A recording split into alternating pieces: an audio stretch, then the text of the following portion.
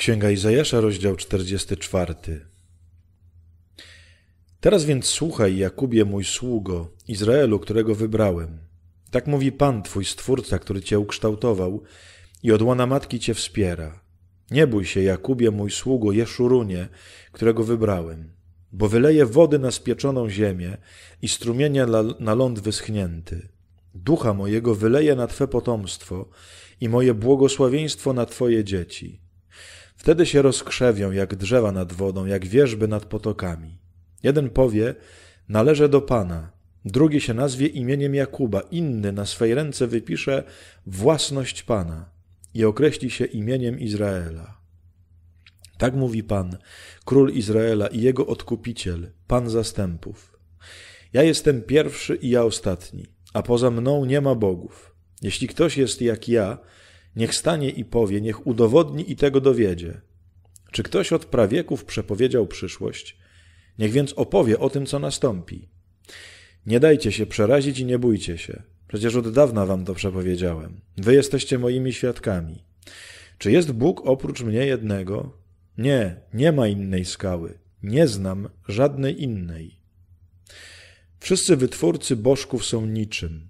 Wytwory, którymi się rozkoszują, są bezużyteczne, niczego nie widzą ani nie wiedzą. Oni sami mogą sobie o tym zaświadczyć, dlatego powinni się wstydzić. Kim jest ten, kto utworzył bożka i odlał posąg, z którego nie ma pożytku? Naprawdę wszyscy, którzy go czczą, powinni się wstydzić, bo jego wytwórcy są tylko ludźmi. Niech zbiorą się wszyscy i staną razem. Niech się przerażą i wstydzą. Rzemieślnik kuje żelazo, obrabia je w żarze paleniska, młotami kształt mu nadaje, obrabia je siłą swych mięśni. Lecz gdy nie je, traci siły, gdy nie pije wody, omdlewa.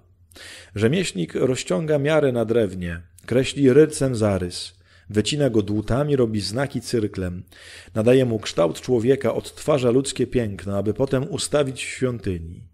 Ścina w tym celu drzewa cedrowe, używa cyprysu lub dębu, przebiera pośród leś leśnych drzew albo sadzi jesion, a deszcz pozwala mu wzrastać. Te rzeczy służą człowiekowi na opał. Bierze je, aby się ogrzać i roznieca ogień, aby upiec chleb. Z nich też robi sobie bożka i składa mu hołdy. Tworzy sobie posąg i cześć mu oddaje. Części używa do rozpalenia ognia, na części piecze mięso. Najada się pieczenią dosyta, ogrzewa się i mówi – Ach, jak mi ciepło, ogień daje mi światło, a z reszty robi bożka. Tworzy sobie posąg, oddaje mu cześć i składa mu hołdy. Modli się do niego i mówi: Ratuj mnie, gdyż jesteś moim Bogiem. Nie rozumieją i nie pojmują, bo zaślepione są ich oczy i nie widzą, ich sercom brakuje rozsądku. Nie zastanowią się w swoim sercu, brak im poznania i zrozumienia, aby stwierdzić: Części użyłem do rozpalenia ognia, na jego żarze wypiekłem chleb i upiekłem mięso, a potem się najadłem. Czy powinienem z reszty robić ohydnego bożka? Czy mam oddawać cześć klocowi drewna? Karmi się popiołem, zwiodło go zbłąkane serce. Nie potrafi ocalić swojego życia i nie umie przyznać, fałszem jest to, co trzymam w prawej ręce. Pamiętaj o tym, Jakubie, bo jesteś moim sługą Izraelu. Ja cię ukształtowałem, jesteś moim sługą.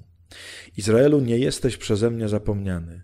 Usunąłem jak obłok Twoje występki i jak chmurę Twoje grzechy. Nawróć się do mnie, bo Cię odkupiłem.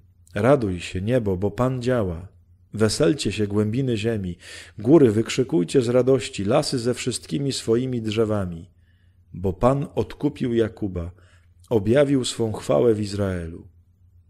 Tak mówi Pan, Twój odkupiciel ten, który ukształtował cię w łonie matki.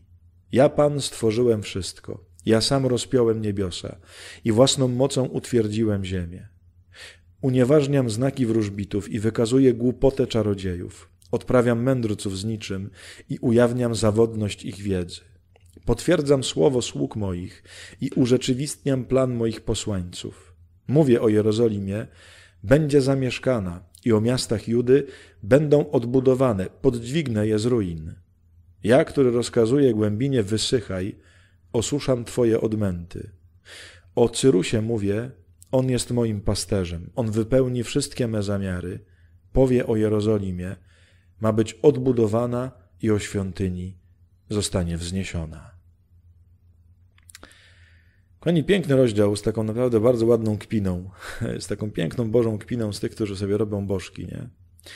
I kochani, wiem, że część z nas może powiedzieć, przecież my nie wierzymy w żadne tam posążki i tak dalej, ale kochani, ile jest takich głupot w życiu, na których się opieracie, w których widzicie swoje szczęście, w których mówicie do Pana Boga, jakbym tylko to miał, to, to, było, to byłbym taki szczęśliwy, kochani.